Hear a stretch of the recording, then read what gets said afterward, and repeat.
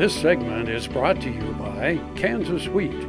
Learn more at rediscoverwheat.org. Good morning and welcome to Farm Factor on AgAm in Kansas.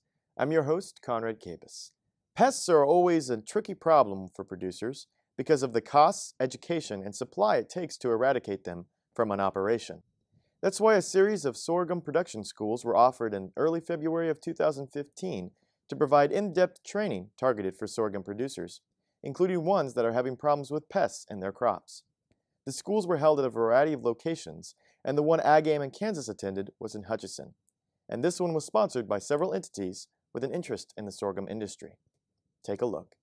I'm Jeff Whitworth. I'm an extension specialist in entomology. We were in Hutchinson, Kansas today at the sorghum school, our annual sorghum school. Um, today I was talking about insects that affect sorghum. Uh, probably our most consistent number one pest all across the state as far as sorghum goes, and maybe a little bit in corn also, is the chinch bug. Uh, the true chinch bug is sometimes mistaken for a false chinch bug, but there's considerable differences, especially in the amount of damage that they can do. False chinch bug doesn't really do damage. A true chinch bug really can.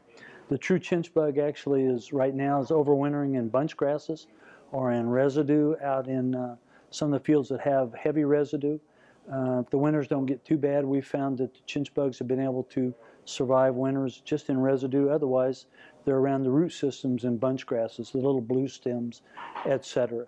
Then, um, you know, probably whenever the wheat starts to break dormancy, the chinch bugs, the adults will move out of the bunch grass and the residue or wherever they are overwintering and they will move into the wheat. They will start feeding in the wheat. Uh, like I said, it's once the wheat breaks dormancy, they'll start feeding in the wheat probably for oh two to three weeks, and then they'll start mating and they'll start laying eggs. Um, and then the eggs will hatch, and the little nymphs or red, they'll start feeding in the wheat also. Um, then they start moving out of the wheat as the wheat starts to senesce or starts to turn yellow. It starts losing its juice, in other words so it's not on a suitable host for the chinch bug. And as that starts to happen, they start moving out of the uh, out of the wheat, moving into the sorghum or corn, whichever the uh, adjacent crop is, and they can do a real number on seedling sorghum and or corn plants, especially in dry conditions. If the if the moisture is lacking, um, the plants are struggling anyway for because of moisture stress.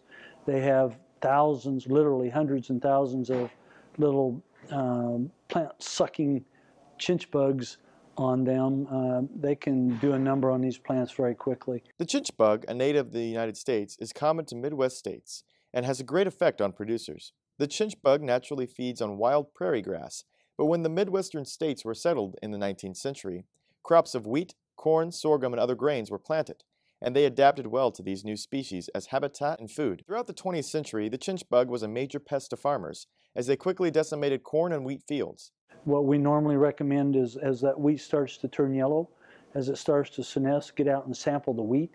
If you find one chinch bug in one square foot in your wheat field, um, then delay planting your sorghum or your corn if you were going to plant adjacent to that wheat field.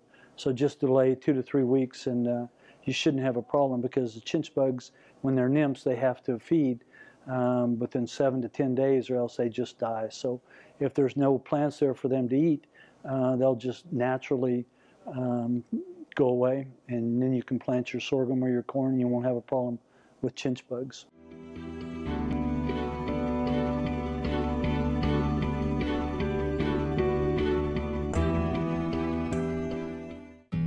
This hog is head over hoof for meal made from U.S. soybeans. Now, one hog isn't that impressive, but suppose we add another, and another, and another.